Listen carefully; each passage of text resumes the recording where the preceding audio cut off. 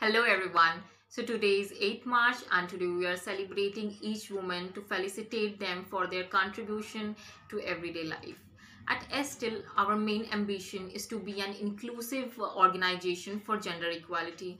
We are on the way to achieve it by solid norms, a clear mandate, ethics, and a supportive team. And we believe that one day we will achieve a workplace having equal opportunities for every gender do you know that uh, what is the world's most underutilized uh, resource think for a second it is women who account for half of the world's human capital uh, women joining the labor sector and making better use of their skills and resources uh, sorry qualifications are essential for long-term economic and sustainable growth at both international and regional levels.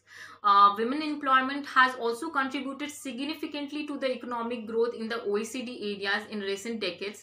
And um, as far uh, as I know, since 1995, closing the employment gap between men and women has been responsible for half of the Europe's total employment rate hike and a quarter of annual economic growth.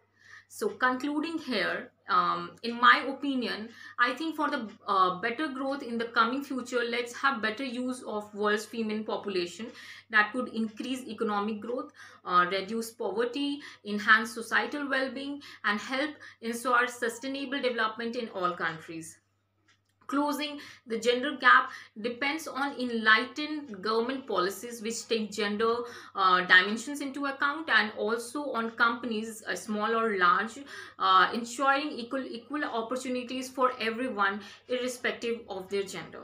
So that's it for today.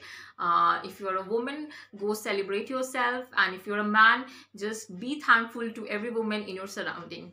Thank you